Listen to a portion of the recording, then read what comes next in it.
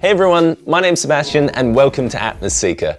In this episode, I'm going to be making a way to disguise the microfogger in some dungeon terrain. If you don't know what that is, it's this little guy right here. You can follow the links in the description or the cards on how to make one. If you're new here, be sure to subscribe. On the channel, I've experimented with a lot of techniques for creating immersive tabletop gaming atmosphere and dynamic terrain and props. With the Dungeon Fogger, I wanted it to have a small table footprint and blend in well with conventional dungeon terrain. The first part of the build was working out how to have the fog exit the terrain. So I got to work on cutting up some EVA foam into the shape of a stonework arch.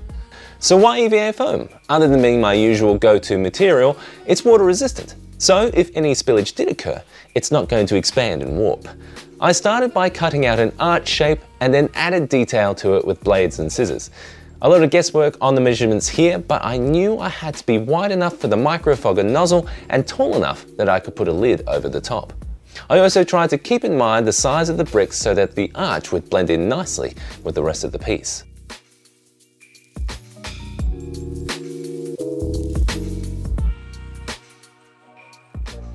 At the front here, I wanted to make some dungeony looking bars. For this, I used some gutter mesh, which turned out was a perfect fit because of the one centimeter grid on the mesh. This was a happy accident that it fit snugly, so I would suggest making the archway to fit whatever mesh you end up using. For the base, I cut some EVA foam a centimeter wider than each side of the archway. That's to make sure that there's enough space for the bricks I'll be placing around the edges. As for the length, I made it long enough to conceal the fogger and lay bricks around it. Speaking of bricks, we're going to need a whole bunch of them. So I cut some 1 centimeter wide strips and then cut those into 2 centimeter long bricks. To add some detail, you can make some nicks and cuts on the edges of the bricks with some scissors. Then it's all about laying them down with some hot glue. To get some variety, you can offset the depth of some of the bricks by slicing them a little bit thinner.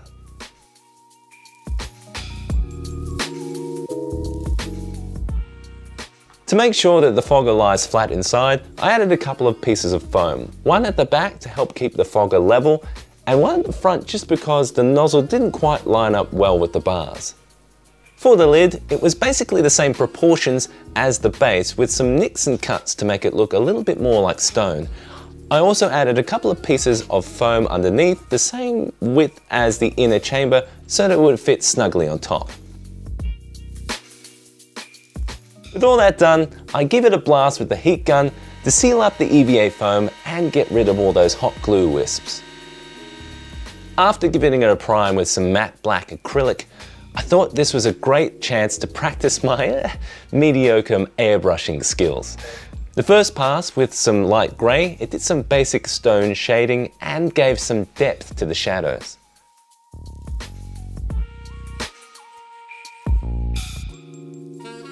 Going for a classic dungeon look, I grabbed some Viridian to give it a bluish greenish tint.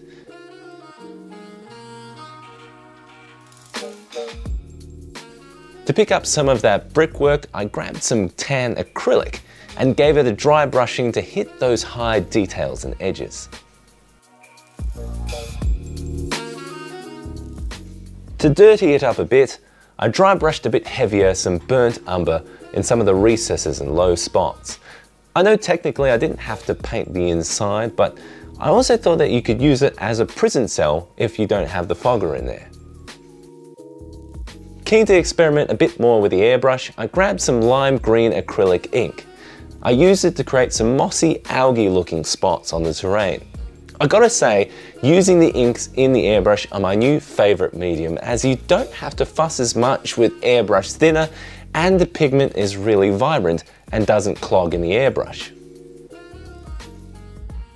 Then a little extra detail on the bars here with some copper paint for a rust effect. Now for sealing it all in, I wanted something a bit tougher in case there were any residue from using the microfogger. I hit it with this durable furniture varnish and because it came up with a bit more of a satin finish after drying, I gave it the spray with the usual matte varnish. I'd also suggest this for any terrain in close proximity to the mist. It's a really simple piece of terrain and it blends in really well with some dungeon tiles. If you want to modify the fog a bit more, here are a couple of tips. Some pipes from Mantic can make some great modifiers for a sewer look. Just place them a centimetre or two away from the nozzle as there's a Venturi effect that sucks in the mist.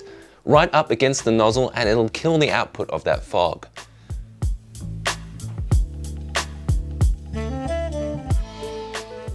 If you want to tint the fog or give it some volume, some underlighting can really help to enhance it.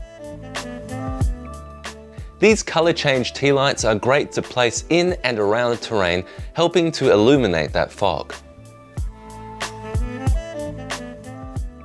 So that was a way to conceal the microfogger in terrain along with a couple of tips to get some different effects. Be sure to smash that like button if you like the video and if you have any other ideas of how to integrate the fogger into terrain, let me know in the comments.